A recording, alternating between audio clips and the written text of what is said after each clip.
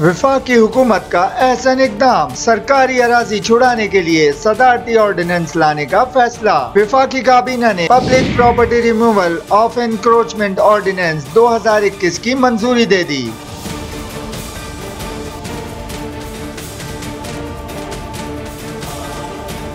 Ordinance में काबिजीन को सात रोजा मोहलत और हुक्म इम्तना का हक वापस लेने की तजवीज दी गई है। ऑर्डिनेंस के तहत मुल्क भर में एपलेट ट्रिब्यूनल्स कायम करने की तजवीज दी गई है।